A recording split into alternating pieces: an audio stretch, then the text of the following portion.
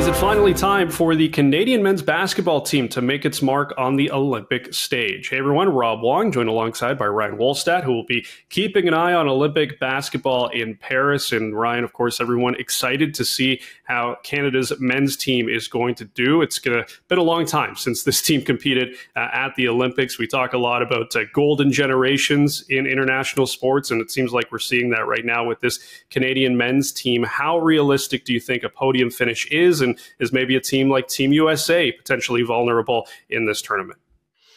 I think it's uh, it's a realistic thing. I think some people maybe are getting uh, a little ahead of themselves. I, I know they're the the second favorites after the USA to win gold, and I mean that's it could happen. Look, uh, there's definitely a ton of talent. I think only the USA definitively has more talent than Canada. Uh, France is up there too, but they still have to figure out how to how to play with those all those big guys. Uh, together. Uh, but Canada definitely has a chance. I mean, Shai Gilgeous-Alexander just showed that he is one of the very best players in the whole world. I mean, I had him, I had him first on my MVP ballot. He finished second. Um, he, he's amazing. There's a lot of uh, solid players, really good defensive players on the roster. Uh, Jamal Murray is finally there, uh, so there's definitely a chance. But I wouldn't say favorites, but I definitely think they can podium. But they're just going to have to uh, beat some really tough teams. Like their their group people have called it the group of the death because there's no easy team there. I think some people are maybe overrating Spain and Australia a little bit based on how amazing they've been for the last decade or so. They're not quite at that level anymore, but they're still really good, dangerous teams. Especially Australia's looked really good uh, in the lead up, and then you have to play Greece and Giannis uh, as maybe the worst team. And they're still like a decent squad. I think they're all ranked inside the top 10 in the, in the whole group in f- the FIBA ranking. So none of them will be easy. And then once you have to finish top two or be one of the three, uh, it's a little confusing with the math, but one, one of the three best uh, third place teams or one of the two best third place teams. That's what it is to, to advance. And then you just got to hope that you don't run into the Americans uh, in that next knockout round because that's where it seems to always get tough. Even when you're talking about back to 2000, Canada looked great with Steve Nash and young Rowan Barrett leading the way. Uh, they were cruising, and then they, uh, when it was a single game elimination, they ran it to France, I believe, and that was it, and the dream was dead. So Canada's going to have to avoid that fate this time. Yeah, it's going to be a challenge, like you said, but this is about as good of an opportunity as they've uh, ever had, uh, really, when it comes down to it. And you talked about Jamal Murray, who is uh, on this team, and uh, Shai Gilgeous-Alexander, who had a, a, monster season a year ago. When you look at these two guys, they're clearly the headliners on Team Canada, but is one more important than the other uh, when it comes to this roster? I think Shai definitely is. I mean, he's the guy that that does everything. Um, I think Murray at this point is kind of like as nice of a bonus as you can get. It's kind of similar to Kevin Durant with the Americans. Like they're they're both clearly not hundred percent, but they're as those two are two of probably the five best clutch players in the entire NBA. So they're massive when you're in a close game.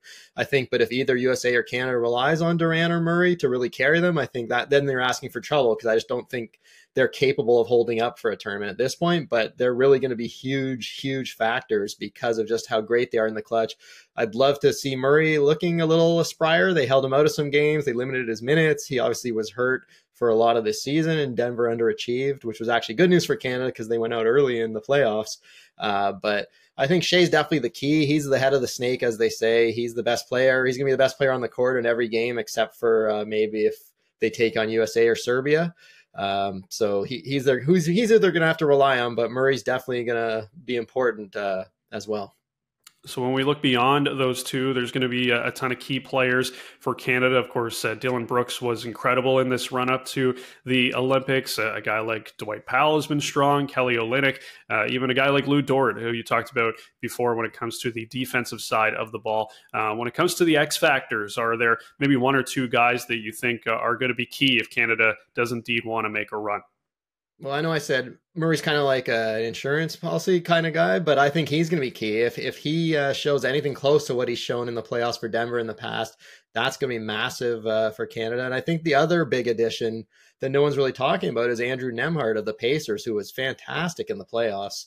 Um, he's a really really good player, and he's exactly what they needed: a more point guard depth behind Shai or to play alongside Shai, and he looked really good in in the tune-up games. So I think he's going to be a huge part of it. You mentioned Dwight Powell; he he's going to be really important because Canada's biggest weakness by far is up front.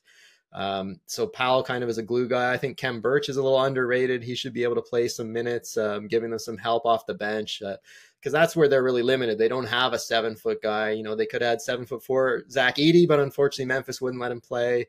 Uh, so that that was unfortunate. But I think those are the kind of guys in the past we've seen Nickeil Alexander Walker, Lu Dort, and I think Dillon Brooks is also the guy you mentioned. He's kind of like a weather vane for them. When he's going really well, Canada's almost always uh, playing at its best, and when he's having an off night, it's a lot harder for the rest of the guys to to to get over the hump as well.